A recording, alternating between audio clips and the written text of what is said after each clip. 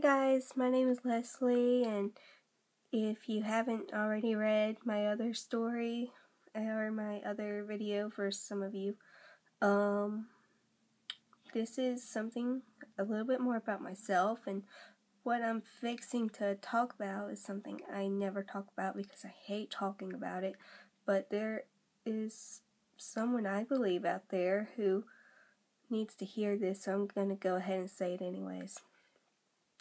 For my whole life, I'm 13, I have had some pretty serious back problems. And, I mean, it has literally killed me. Like, every day is a struggle. Ever since I was like two, it has given me problems. Well, I say that it was two, but it caused me to not grow normally. Like, I started walking late than I should have, or started crawling later than I should have. But, uh, when I was old enough to walk and talk, I would just sit there and cry and hold my back and just tell him to make it quit hurting. And I was just three or two.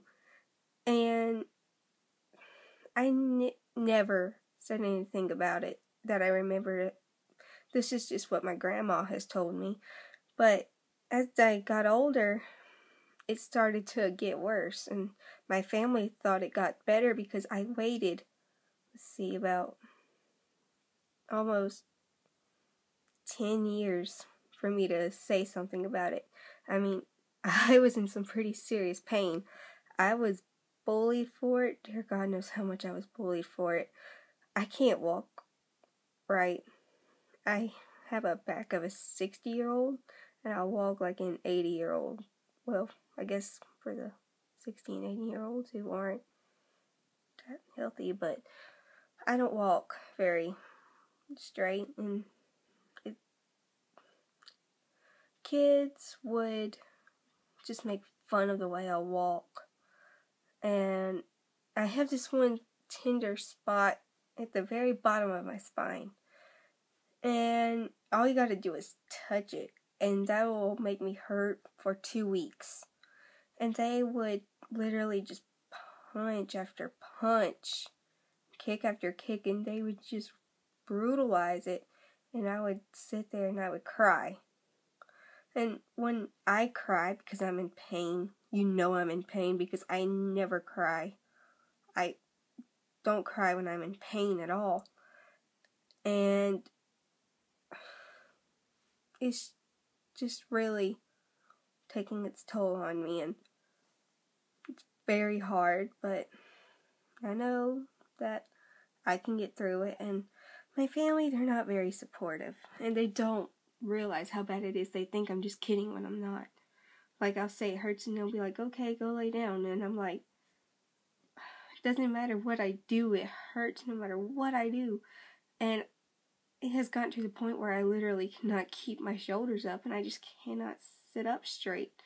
And my grandma or my mom or my dad, they'll just be like, You need to sit up straighter.